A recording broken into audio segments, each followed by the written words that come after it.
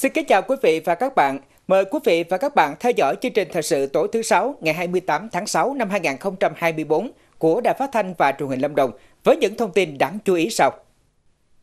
Đại biểu Quốc hội tỉnh Lâm Đồng góp ý vào nội dung dự thảo luật phòng cháy chữa cháy và cứu nạn cứu hộ.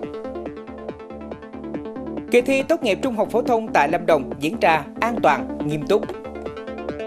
Phụ nữ xây dựng gia đình năm không ba sạch.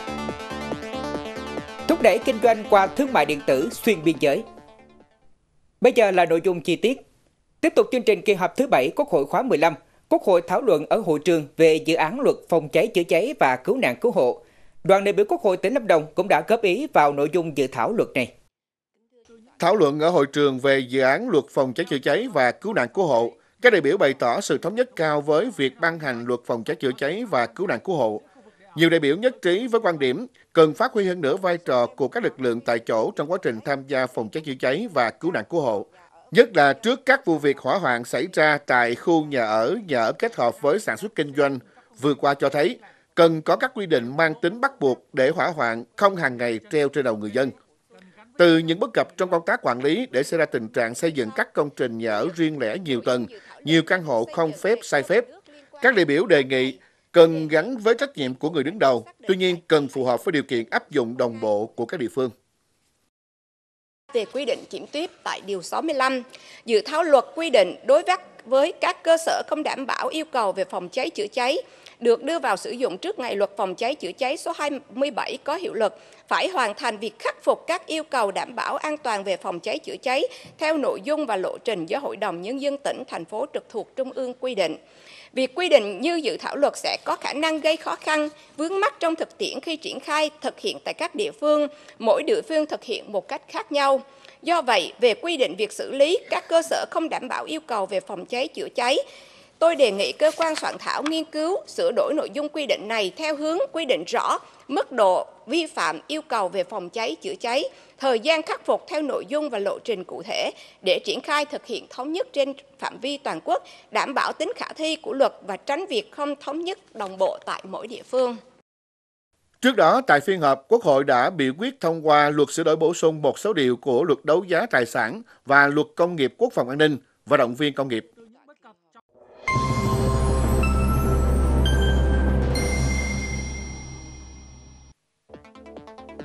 Kỳ thi tốt nghiệp trung học phổ thông tại Lâm Đồng diễn ra an toàn, nghiêm túc. Phụ nữ Lâm Đồng hưởng ứng phong trào xây dựng gia đình 503 sạch là những thông tin sẽ có trong phần tiếp theo của chương trình thời sự tối nay. Trong hai ngày 27 và 28 tháng 6, huyện Lâm Hà đã tổ chức Đại hội đại biểu các dân tộc thiểu số lần thứ tư năm 2024. Tham dự đại hội có ông Nguyễn Khắc Bình, Phó Chủ tịch Hội đồng Nhân dân tỉnh, ông Phạm S, Phó Chủ tịch Ủy ban Nhân dân tỉnh, lãnh đạo huyện Lâm Hà, cùng 150 đại biểu ưu tú đại diện cho các dân tộc thiểu số sinh sống làm việc trên địa bàn huyện. Trong 5 năm qua, huyện Lâm Hà đã chú trọng ưu tiên thực hiện các chương trình dự án, chính sách của đảng, nhà nước đối với vùng đồng bào dân tộc thiểu số, đã lồng ghép huy động mọi nguồn lực để đầu tư phát triển, thực hiện quy hoạch tổng thể về phát triển kinh tế xã hội. Tổng vốn đầu tư toàn xã hội bình quân 4.100 tỷ đồng một năm so với bình quân giai đoạn 2014-2019 gần 2.700 tỷ đồng một năm, tăng 53%. Hiện nay, 16 trên 16 xã thị trấn có đường ô tô đến trung tâm xã được sải nhựa hoặc bê tông. 100% thôn tổ dân phố có đường ô tô đến trung tâm được cứng hóa. 100% xã thôn đồng bào dân tộc thiểu số có điện lưới quốc gia. Tỷ lệ hộ dân được sử dụng điện đạt 99,9%. Tỷ lệ hộ đồng bào dân tộc thiểu số được sử dụng nước sạch hợp vệ sinh đạt 97%. Đầu tư hơn 420 tỷ đồng cho các cấp học. Tỷ lệ phòng học kiên cố toàn huyện hiện nay đạt 93,2%. Đến cuối năm 2023, tỷ lệ nghèo đa chiều người dân tộc thiểu số giảm 12,57%, tương đương 958 hộ so với cuối năm 2021. Tại đại hội, các đại biểu đã bầu chọn 23 ông bà tham gia đoàn đại biểu dự đại hội đại biểu các dân tộc thiểu số tỉnh Lâm Đồng lần thứ tư năm 2024. Nhân dịp này, Ủy ban Nhân dân tỉnh Lâm Đồng tặng bằng khen cho hai tập thể, 4 cá nhân. Ban dân tộc tỉnh tặng giấy khen cho 6 cá nhân. Ủy ban Nhân dân huyện Lâm Hà tặng giấy khen cho 9 tập thể, 13 cá nhân đã có thành tích xuất sắc trong thực hiện công tác dân tộc và quyết tâm thư giai đoạn 2019-2024. Với chủ đề các dân tộc huyện Lâm Hà đoàn kết, đổi mới sáng tạo, hội nhập và phát triển bền vững, Đại hội đã thông qua quyết tâm thư với 5 nhiệm vụ trọng tâm trong giai đoạn tới 2024-2029. Chiều nay, Học viện Lục quân tổ chức hội nghị sơ kết cuộc vận động quản lý khai thác vũ khí trang bị kỹ thuật tốt, bền, an toàn, tiết kiệm và an toàn giao thông giai đoạn 2020-2024. Thời gian qua, nhà trường duy trì tốt việc thực hiện các nội dung cuộc vận động 50 gắn với phong trào thi đua quyết thắng của đơn vị. Hàng năm, các cơ quan đơn vị đều phát động và tổ chức phong trào thi đua, đảm bảo trật tự an toàn và xây dựng văn hóa giao thông của mọi cán bộ học viên trong toàn học viện, đặc biệt là quy hoạch về sử dụng rượu bia. Duy trì nghiêm công tác đảm bảo an toàn thông tin, an ninh mạng và vũ khí trang bị, phục vụ sẵn sàng chiến đấu, huấn luyện, cùng các nhiệm vụ thường xuyên và đột xuất. Học viện Lục quân cũng chú trọng gắn thực hành tiết kiệm với phát huy sáng kiến cải tiến kỹ thuật, nghiên cứu khoa học, ứng dụng tiến bộ khoa học kỹ thuật có hiệu quả. Thời gian tới, nhà trường tiếp tục đẩy mạnh thực hiện hiệu quả phong trào nghiên cứu đề tài, sáng kiến, cải tiến kỹ thuật, đạt được các chỉ tiêu của cuộc vận động 50 đề ra. Tăng cường giáo dục tuyên truyền việc chấp hành nghiêm luật giao thông đường bộ, đưa nội dung học tập luật giao thông vào chương trình học tập chính trị của cán bộ, nhân viên, chiến sĩ, đồng thời bồi dưỡng nâng cao trình độ chuyên môn, ứng dụng công nghệ mới vào công tác quản lý, cải tiến trang bị, góp phần nâng cao chất lượng công tác giáo dục, đào tạo và nghiên cứu khoa học tại nhà trường. Sáng nay 28 tháng 6, Hội Cựu chiến binh tỉnh tổ chức sơ kết công tác và triển khai nhiệm vụ 6 tháng cuối năm 2024. 6 tháng qua, Hội cựu chiến binh các cấp trong tỉnh đã cụ thể hóa các chương trình hoạt động, triển khai toàn diện các mặt công tác và đạt nhiều kết quả tích cực. Phong trào thi đua cựu chiến binh gương mẫu gắn với các hoạt động đời sống văn hóa, nông thôn mới, giảm nghèo, giữ vững an ninh chính trị, trật tự xã hội, được các cấp hội thực hiện đồng bộ. Đặc biệt, Hội cựu chiến binh đồng hành cùng với các ngành chính quyền chung tay thực hiện tốt công tác dân vận. Tham gia đóng góp hơn 1,2 tỷ đồng, hơn 5.000 ngày công lao động, tu sửa gần 30 km kênh mương, sửa chữa hơn 17 km đường giao thông liên thôn, liên tổ. Công tác xây dựng đảng gắn với việc học tập và làm theo tư tưởng đạo đức phong cách Hồ Chí Minh đạt nhiều kết quả. Nhiệm vụ 6 tháng cuối năm 2024, Hội cựu chiến binh tỉnh tiếp tục đẩy mạnh phong trào thi đua cựu chiến binh gương mẫu, tập trung công tác xây dựng đảng gắn với chỉ thị số 34 của Ban Thường vụ tỉnh ủy, tăng cường công tác kiểm tra giám sát trong toàn cấp hội. Hôm nay 28 tháng 6, thí sinh tỉnh Lâm Đồng bước vào ngày thi thứ hai, cũng là ngày thi cuối cùng của kỳ thi tốt nghiệp trung học phổ thông năm 2024 với tổ hợp bài thi khoa học tự nhiên hoặc khoa học xã hội và môn ngoại ngữ. Công tác an ninh trật tự, an toàn giao thông, kỷ luật phòng thi vẫn được siết chặt. Kết thúc kỳ thi tốt nghiệp năm nay, thí sinh phấn khởi về bài làm của mình bởi những bài thi đã bám sát nội dung, kiến thức được ôn tập. Ghi nhận sau của phóng viên thời sự. Trong tổng số 15.224 thí sinh dự thi tốt nghiệp trung học phổ thông trên địa bàn tỉnh năm nay, có 5.466 thí sinh đăng ký bài tổ hợp khoa học tự nhiên, 9.782 thí sinh đăng ký bài tổ hợp khoa học xã hội. Đối với thí sinh học chương trình giáo dục thường xuyên cấp trung học phổ thông, chỉ dự thi đủ 3 bài, gồm 2 bài độc lập là toán ngữ văn và một bài tổ hợp do thí sinh tự chọn. Kết thúc buổi thi thứ ba, thí sinh cho rằng đề thi năm nay không quá khó, bám sát đề minh họa của Bộ Giáo dục và Đào tạo và sát với kiến thức thầy cô giáo ôn tập trên lớp. Ở tổ hợp khoa học tự nhiên có sự phân hóa rõ ràng, nhất là với môn sinh học và vật lý. Đối với tổ hợp khoa học xã hội, môn lịch sử không quá khó, các kiến thức chủ yếu nằm trong chương trình lớp 12. Nội dung các câu hỏi rõ ràng, không đánh đố, nhiều câu quen thuộc. Môn địa lý, nhiều câu có trong Atlas nên thí sinh chỉ cần chú ý là có thể làm được. Buổi chiều, ngày 28 tháng 6, thí sinh thi môn ngoại ngữ, môn thi cuối cùng của kỳ thi tốt nghiệp trung học phổ thông năm 2024 theo hình thức trắc nghiệm với tổng số 50 câu, thời gian làm bài 60 phút. Kết thúc môn thi cuối cùng không có thí sinh và cán bộ coi thi vi phạm nội quy quy chế. Kỳ thi năm nay có 10 thí sinh vắng với lý do chính đáng, trong đó hai thí sinh đã thi được hai môn chính trước đó, nhưng đến ngày thi hôm sau bị tai nạn giao thông và thí sinh bị ốm nên hội đồng các điểm thi đã nhanh chóng hướng dẫn gia đình học sinh hoàn tất các hồ sơ để xin xét đặt cách tốt nghiệp. Đề thi năm nay có sự phân hóa khá là rõ ràng Ờ, môn văn thì đối với em thì khá là vừa sức và cũng khá là dễ. Nhưng mà môn toán thì em nghĩ là từ câu 40 đổ đi nó sẽ khá là khó. Còn về các môn khoa học xã hội thì đa số em nghĩ là sẽ vừa sức với các bạn Hôm nay thì kỳ thi đã kết thúc rồi và em thấy là đề thi năm nay thì cũng khá là vừa phải chứ không phải là quá khó. Tuy nhiên thì em ờ, còn hơi yếu môn Anh một xíu nên là chắc chỉ được 50% thôi còn những môn còn lại thì ờ, tự tin 10 điểm chiều nay giờ khi mà kết thúc môn văn thì thấy là các môn làm bài thì được em hy vọng là nó sẽ đúng như ờ, kỳ vọng của em Điều ghi nhận ở kỳ thi năm nay, công tác an ninh trong và ngoài khu vực thi luôn được chú trọng, siết chặt. vật dụng tư trang của thí sinh phải để cách phòng thi tối thiểu 25 m để đảm bảo tính khách quan và nghiêm túc ở khâu coi thi. Tại mỗi điểm thi, tổ chức cho cán bộ coi thi bốc thăm nhận phòng thi. Kết thúc kỳ thi tốt nghiệp trung học phổ thông năm nay tại tỉnh Lâm Đồng diễn ra thuận lợi, không để xảy ra sự cố đáng tiếc từ thí sinh cũng như cán bộ làm nhiệm vụ thi. Trường thi đảm bảo an toàn tuyệt đối. Điều này chính là nhờ sự lãnh đạo chỉ đạo sát sao và kịp thời từ lãnh đạo địa phương, các thành viên trong ban chỉ đạo kỳ thi và công tác phối hợp từ các đơn vị liên quan, cùng với tinh thần trách nhiệm cao của hơn 2.000 cán bộ làm công tác thi ở 39 điểm thi trong toàn tỉnh. Là lãnh đạo tỉnh cũng như là ngành giáo dục Ờ, rất là quan tâm, ờ, thường xuyên kiểm tra đôn đốc, đặc biệt nữa là đồng loạt các ban ngành đều vào cuộc để mà tổ chức kỳ thi cho thành công. Và đặc biệt Lâm Đồng ờ, thì hàng năm tất cả các năm đều rất là thành công trong kỳ thi. Thì với tư cách trưởng điểm ở trường điểm thi 04, trường học cơ sở trung học phổ thông Tây Sơn, thì tôi cũng hết sức là cố gắng để làm sao cho công tác thi được hoàn thành và được để đạt được mục tiêu tốt đẹp nhất. Theo đánh giá nhanh của Ban chỉ đạo kỳ thi tốt nghiệp trung học phổ thông 2024 tại Lâm Đồng, sau khi kết thúc kỳ thi, toàn tỉnh không có thí sinh và cán bộ làm công tác thi vi phạm quy chế, trường thi vẫn đảm bảo an toàn, nghiêm túc. Đây chính là thành công cho công tác phối hợp nhịp nhàng và nỗ lực hết mình của từng thành viên làm nhiệm vụ thi tốt nghiệp. Cho đến thời điểm này thì à, kỳ thi tốt nghiệp trung học phổ thông 2024 trên địa bàn tỉnh Lâm Đồng đã kết thúc. À, hơn à, 14.000 thí sinh đã tham dự kỳ thi khá là đầy đủ. Ờ, số liệu học sinh vắng thi năm nay cũng ít hơn so với mọi năm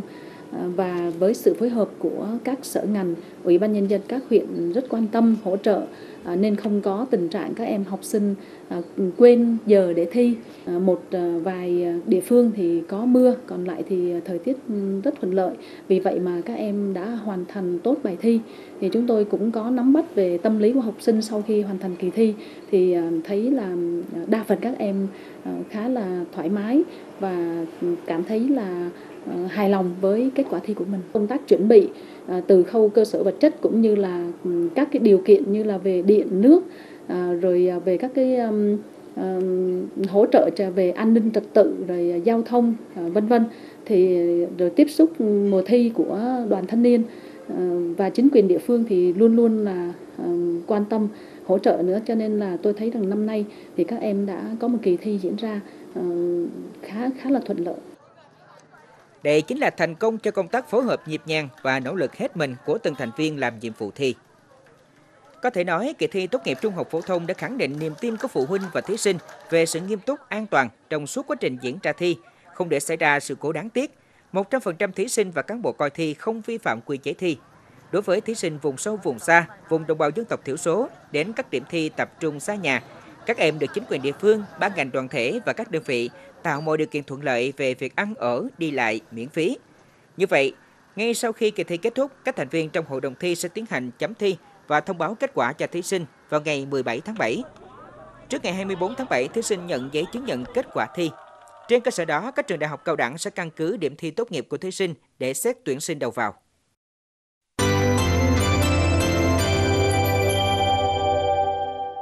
Câu lạc bộ nữ trí thức tỉnh và thành phố Đà Lạt vừa tổ chức tọa đàm với chủ đề Xây dựng tình yêu thương, sưởi ấm ngôi nhà bạn, nhân kỷ niệm 23 năm Ngày Gia đình Việt Nam 28 tháng 6.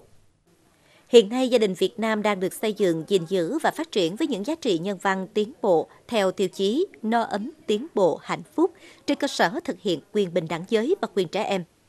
Trách nhiệm giữa nam và nữ trong công việc chăm lo đời sống gia đình được chia sẻ và tôn trọng. Bạo lực gia đình bị lên án, Tỷ lệ phụ nữ tham gia quyết định các công việc quan trọng của gia đình, tham gia các hoạt động chính trị xã hội ngày càng cao. Quyền trẻ em được pháp luật thừa nhận, được xã hội gia đình thực hiện, bảo vệ và phát huy. Tuy nhiên, trong thời kỳ công nghiệp hóa, hiện đại hóa, ảnh hưởng của cuộc cách mạng 4.0 và xu hướng toàn cầu hóa các gia đình hiện nay phải đối mặt với rất nhiều khó khăn và thách thức.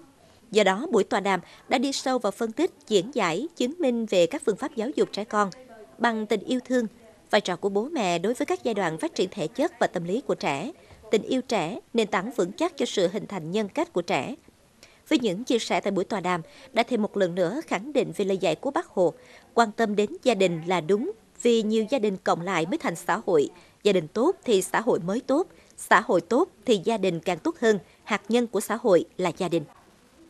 Thưa quý vị và các bạn, cuộc vận động xây dựng gia đình 503 sạch gồm 8 tiêu chí, không đói nghèo, không vi phạm pháp luật và tệ nạn xã hội, không bạo lực gia đình, không vi phạm chính sách dân số, không có trẻ em suy dinh dưỡng và bỏ học. Sạch nhà, sạch bếp, sạch ngõ đã được Trung ương hội đề xuất đưa vào chương trình mục tiêu quốc gia xây dựng nông thôn mới giai đoạn 2021-2025. Từ đó, Hội Liên hiệp Phụ nữ các cấp trong tỉnh Lâm Đồng đã triển khai sáng tạo, gắn thực hiện cuộc vận động bằng những hành động cụ thể, hiệu quả, mang lại lợi ích thiết thực cho bản thân phụ nữ, gia đình và cộng đồng, góp phần thực hiện tốt phong trào toàn dân đoàn kết xây dựng nông thôn mới, đô thị văn minh. Nhân ngày gia đình Việt Nam 28 tháng 6 hôm nay, mời quý vị và các bạn cùng theo dõi ghi nhận sau. Từ bàn tay khéo léo đảm đang của người phụ nữ, những đường hoa với muôn vàng loài hoa lần lượt khoe sắc làm cho bức tranh làng quê thêm trụ phú tươi đẹp. Mỗi người một việc nhỏ chăm chút cho khóm hoa cây xanh trước sân nhà. Cứ thế từ mỗi căn nhà, những cung đường nối tiếp có các loài hoa đua nhau khoe sắc. Đây cũng là một trong những hoạt động của các cấp hội phụ nữ trong tỉnh, hưởng ứng cuộc vận động xây dựng gia đình năm không ba sạch đã đi vào đời sống hội viên trong suốt nhiều năm qua. Tôi đã hưởng ứng à, hà, hàng ngày là à, phải là là sạch nhà, sạch bếp, sạch ngõ. À, thường là à, quét dọn sân hè, trồng hoa, cây cảnh, à, chăm sóc để cho à, ngày à, càng xanh tươi hơn. Còn đường này chị em cũng nhiệt tình lắm, nói chung là cái thứ bảy chủ nhật hay là trời mưa gió chứ cũng đi làm con đường này. Bọn chị đi làm thì rất là vui. Để cuộc vận động xây dựng gia đình 503 sạch có sức lan tỏa, đi vào cuộc sống của cán bộ hội viên phụ nữ và tạo khí thế thi đua sôi nổi, lôi cuốn các tầng lớp phụ nữ tham gia. Hàng năm, các cấp hội tổ chức cho cán bộ hội viên phụ nữ đăng ký, mỗi năm giúp thêm từ 5 đến 10 hộ gia đình hội viên phụ nữ thực hiện đạt từ 8 tiêu chí 503 sạch với các nội dung về bảo vệ môi trường, an toàn thực phẩm, duy trì và phát triển các loại hình kinh tế tập thể, thực hiện chính sách bảo hiểm y tế toàn dân, chính sách dân số, các hoạt động hỗ trợ tư vấn pháp luật, trợ giúp pháp lý về phòng chống bạo lực gia đình, phòng chống tội phạm, qua đó tạo nền tảng thúc đẩy bình đẳng giới, xây dựng gia đình no ấm, tiến bộ, hạnh phúc, văn minh.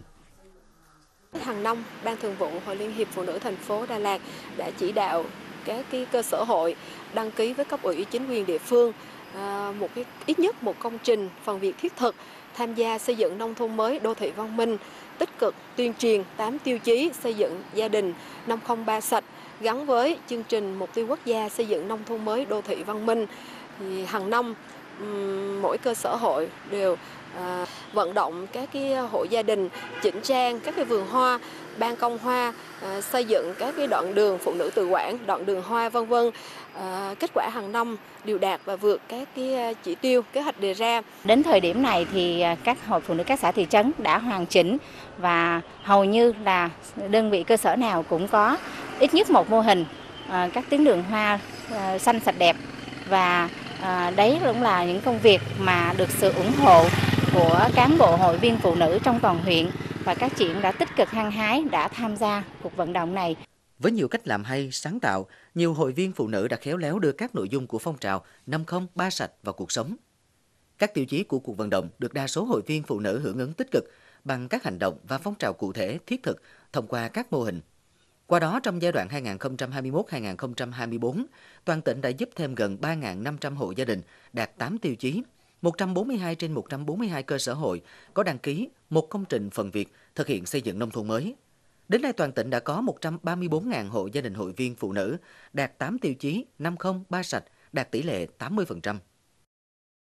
Để cuộc vận động xây dựng gia đình 503 sạch có sức lan tỏa đi vào cuộc sống của các cán bộ hội viên phụ nữ và tạo khí thế thi đua sôi nổi trong ờ, hội viên phụ nữ tham gia thì hàng năm các cấp hội cũng đã tổ chức cho cán bộ hội viên phụ nữ đăng ký mỗi năm giúp cho 5 đến 10 hộ gia đình hội viên phụ nữ đạt các tiêu chí năm công ba sạch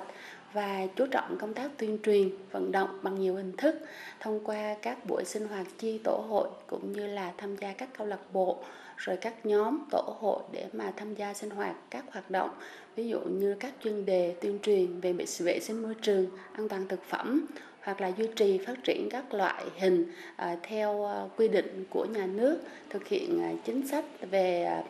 bảo hiểm y tế vân vân rất là nhiều các hoạt động mà chúng tôi tuyên truyền để mà thực hiện đúng các tiêu chí. Thực hiện cuộc vận động xây dựng gia đình 503 sạch được các cấp hội phụ nữ trong tỉnh xác định là nhiệm vụ trọng tâm của công tác hội. Từ đó có nhiều giải pháp tích cực từng bước đưa các nội dung tiêu chí của cuộc vận động lan tỏa mạnh mẽ trong cán bộ, hội viên phụ nữ. Qua đó khơi dậy tinh thần đoàn kết, phát huy nội lực, ý thức trách nhiệm vươn lên trong phát triển kinh tế, xóa đói giảm nghèo, tinh thần tương thân tương ái. Đặc biệt là thể hiện vai trò của cán bộ hội viên phụ nữ trong tham gia bảo vệ môi trường sống vùng quê, cũng như duy trì các hoạt động chăm lo đời sống cho hội viên phụ nữ nghèo, từng bước nâng cao đời sống. Qua đó góp phần thực hiện tốt công tác xây dựng nông thôn mới, đô thị văn minh tại địa phương. Chuyển sang những thông tin khác, hướng tới kỷ niệm 95 năm ngày thành lập Công đoàn Việt Nam 28 tháng 7 năm 1929, 28 tháng 7 năm 2024, 48 năm ngày thành lập Công đoàn tỉnh Lâm Đồng 25 tháng 9 năm 1976, 25 tháng 9 năm 2024. Sáng nay 28 tháng 6, Công đoàn viên chức tỉnh tổ chức hội thao cán bộ công chức viên chức lao động Công đoàn viên chức tỉnh Lâm Đồng năm 2024 với sự tham gia của hơn 200 vận động viên đến từ các khối cơ quan trên địa bàn tỉnh. Hội thao cán bộ công chức viên chức, người lao động công đoàn viên chức tỉnh Lâm Đồng năm 2024 diễn ra trong 2 ngày 28-29 tháng 6. Hơn 200 vận động viên đến từ 7 khối công đoàn cơ sở trực thuộc công đoàn viên chức tỉnh tham gia tranh tài ở các nội dung bóng truyền da nam, bóng truyền hơi nữ và bóng bàn. Ngay sau lễ khai mạc, các bộ môn đã bước vào thi đấu với không khí sôi nổi hào hứng, cống hiến cho khán giả nhiều trận đấu hay và kịch tính. Hội thao nhằm tạo điều kiện cho cán bộ công chức viên chức, người lao động, công đoàn viên chức tỉnh Lâm Đồng được giao lưu học hỏi. Qua đó góp phần nâng cao chất lượng phong trào thể dục thể thao trong cán bộ công chức viên chức và người lao động, đẩy mạnh hơn nữa phong trào rèn luyện thể dục thể thao nhằm nâng cao sức khỏe, tạo phong trào thể dục thể thao sôi nổi rộng khắp, góp phần đưa phong trào thể dục thể thao trong cán bộ công chức viên chức và người lao động và hoạt động công đoàn ngày càng phát triển. Chiều hôm qua, trường Cao đẳng Đà Lạt trao bằng tốt nghiệp cho 142 sinh viên cả 46 hệ cao đẳng ngành giáo dục mầm non, khóa học 2021-2024. Trong số 142 sinh viên nhận bằng tốt nghiệp hệ cao đẳng ngành giáo dục mầm non khóa học 2021-2024 tại trường Cao đẳng Đà Lạt đợt này, có 11 sinh viên xếp loại giỏi, 131 sinh viên xếp loại khá. Phát biểu tại lễ trao bằng tốt nghiệp, đại diện lãnh đạo trường Cao đẳng Đà Lạt đã chúc mừng đến các sinh viên đã hoàn thành xong chương trình đào tạo của nhà trường và nhận bằng tốt nghiệp đợt này.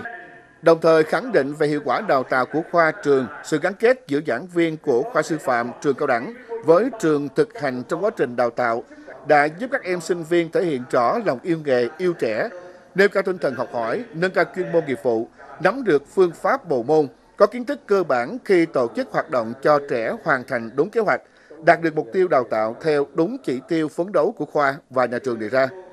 Ngoài trao bằng tốt nghiệp cho các em sinh viên, trường Cao đẳng Đà Lạt cũng khen thưởng cho 11 sinh viên có thành tích tốt trong học tập của khóa học ngành giáo dục mầm non, khóa học 2021-2024.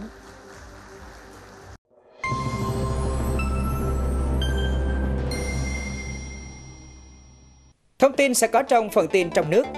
Thúc đẩy hoạt động thương mại điện tử xuyên biên giới để giúp doanh nghiệp có cơ hội đẩy mạnh tiêu thụ sản phẩm tại thị trường trong nước và quốc tế. Báo cáo của Bộ Tài chính gửi Thủ tướng Chính phủ về tình hình thanh toán vốn đầu tư nguồn ngân sách nhà nước thực hiện từ đầu năm đến ngày 30 tháng 6 cho biết có nhiều bộ, cơ quan trung ương và địa phương đã nỗ lực thực hiện nhiều giải pháp để thúc đẩy giải ngân vốn đầu tư công, nhưng kết quả vẫn chưa được như kỳ vọng. Theo đó, ước tỷ lệ giải ngân đến hết ngày 30 tháng 6 là 28% kế hoạch, đạt 30% kế hoạch Thủ tướng Chính phủ giao. Đến hết tháng 6 năm 2024, có 12 trên 44 bộ cơ quan trung ương và 37 trên 63 địa phương có tỷ lệ ước giải ngân đạt trên mức bình quân chung của cả nước. Đặc biệt có một số bộ cơ quan trung ương giải ngân rất thấp, riêng Liên minh Hợp tác xã Việt Nam và Ủy ban Mặt trận Tổ quốc Việt Nam có tỷ lệ giải ngân bằng không do chưa phân bổ kế hoạch vốn. Để đẩy nhanh tiến độ giải ngân vốn đầu tư công, Bộ Tài chính tiếp tục đề nghị các bộ ngành địa phương triển khai nghiêm túc quyết liệt các giải pháp thúc đẩy giải ngân vốn đầu tư công được chính phủ quy định tại nghị quyết về các nhiệm vụ, giải pháp thực hiện kế hoạch phát triển kinh tế xã hội và dự toán ngân sách nhà nước năm 2024. Nếu không sớm tham gia thương mại điện tử xuyên biên giới, doanh nghiệp sẽ lạc hậu, chậm chân trong một sân chơi tiềm năng phát triển lớn. Đây là thông tin được đưa ra tại Diễn đàn Thương mại điện tử xuyên biên giới 2024 do Hiệp hội Thương mại điện tử Việt Nam phối hợp cùng Amazon Global Selling tổ chức tại Hà Nội. Tại diễn đàn, các diễn giả cho rằng việc áp dụng các nền tảng thương mại điện tử không chỉ giúp doanh nghiệp Việt tiếp cận thị trường quốc tế nhanh chóng, hiệu quả mà còn giúp nâng cao năng lực cạnh tranh và phát triển bền vững. Tuy nhiên, bên cạnh những cơ hội cũng đặt ra những khó khăn, thách thức trong việc thực thi, thực tiễn hay các vấn đề về hành lang pháp lý đối với doanh nghiệp Việt Nam. Thì chúng ta cần phải có cái hoạt động tuyên truyền đào tạo phổ biến để bản thân doanh nghiệp họ thấy được cái cái, cái lợi ích cũng như là thấy được cái ờ, cái cái vấn đề khi mà họ tham gia môi trường ờ, thương mại thường xuyên biên giới thì cần phải bảo hộ thương hiệu như thế nào. à, song song với đó thì cần phải có cơ hội để giúp họ có thể tiếp cận được nguồn nhân lực được đào tạo bài bản chất lượng cao một cách dễ dàng nhất Liên minh xuất khẩu trực tuyến được thành lập với cái vai trò sứ mệnh là tập hợp các doanh nghiệp để cùng nhau thúc đẩy cái hoạt động xuất nhập khẩu trên cái môi trường trực tuyến. Thì à, cái sự tập hợp ở trong một cái liên minh như này nó có một ý nghĩa rất là lớn khi các doanh nghiệp có thể tận dụng được cái lợi thế của nhau. Thực tế, trong bối cảnh xuất khẩu là động lực tăng trưởng quan trọng của nền kinh tế, việc tận dụng công nghệ số và thương mại điện tử xuyên biên giới còn giúp khai thác tiềm năng xuất khẩu toàn cầu đang được kỳ vọng. Hiện Bộ Công Thương đã tiến hành nhiều giải pháp hỗ trợ doanh nghiệp nhỏ và vừa thông qua các khóa đào tạo cả trực tiếp và trực tuyến, hoàn toàn miễn phí. Do vậy, các doanh nghiệp có nhu cầu có thể đăng ký với Cục để tham gia các chương trình đào tạo về thương mại điện tử xuyên biên giới, qua đó giúp doanh nghiệp có cơ hội đẩy mạnh việc tiêu thụ sản phẩm của mình tại thị trường trong nước và quốc tế.